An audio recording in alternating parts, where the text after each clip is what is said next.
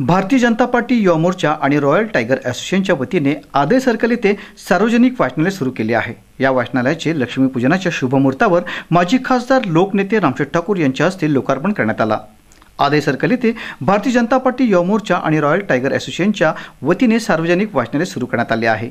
या वाचनालयाच्या लोकार्पण सोहळ्यावेळी भाजपचे जिल्हा प्रवक्ते वायटी देशमुख तालुका अध्यक्ष अरुण शेठ भगत पनवेल महापालिकेचे सभागृह नेते परेश ठाकूर जिल्हा परिषद सदस्य अमित जाधव पंचायत समिती सदस्य भूपेंद्र पाटील प्रभाग समिती ब चे सभापती समीर ठाकूर युवा मोर्चा तालुका अध्यक्ष आनंद ढवळे बुवाशेठ भगत अकुर्ली सरपंच सचिन पाटील सदस्य राजेश पाटील महेश पाटील अशोक पाटील युवा नेते शेखर शेळके भाजप नेते प्रवीण मोहोकर भगवान भगत प्रमोद भगत विकास तळेकर रॉयल टायगर असोसिएशनचे अध्यक्ष राहुल लोहकरे ऋषिकेश कदम ऋषिकेश शिंदे प्रवीण जाधव श्रीनाथ ठाकुरे यांच्यासह पदाधिकारी कार्यकर्ते आणि मान्यवर मोठ्या संख्येने उपस्थित होते.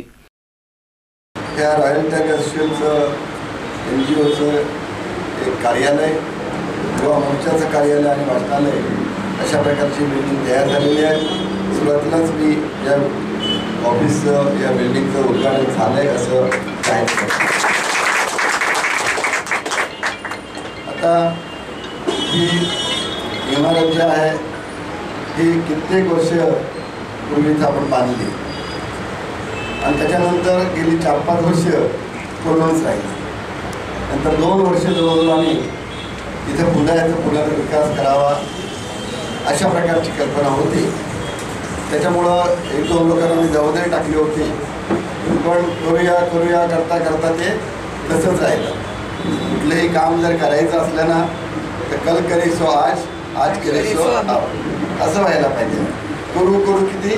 करू झालं समजायचं. असं करू नाही चालणार. पक्षाने आपल्याला जबाबदारी दिली ना मग आतापासून सुरुवात करायला पाहिजे. कायमचं त्यात गुंतलं पाहिजे.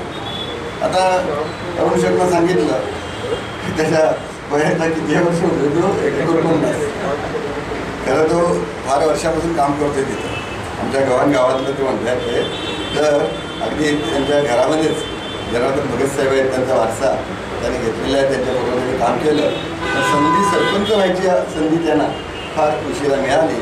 पण सरपंच झाल्यापासून मग पंचायत समिती आणि पुढं पुढं तालुक्यावरती आणि सगळीकडे जिल्हाभर त्यांनी नाव कमवलं. त्याचं कारण चिकाटी सतत काम. संसार बाजूला ठेवून भगतसाहेबांचा वारसा त्यांनी पुरा घेतलेला आहे. आणि तशा प्रकारे हे काम केलं की माणूस आपोआप मोठा होता. तसेच यावेळी पाली देवत ग्रामपंचायतीचे सदस्य योगेश पाटील यांचा वाढदिवस साजरा करण्यात आला. त्यानिमित्त माजी खासदार लोकनेते रामशेठ ठाकूर आणि सभागृह नेते परेश ठाकूर यांनी पुष्पगुच्छ देऊन वाढदिवसाच्या शुभेच्छा दिल्या.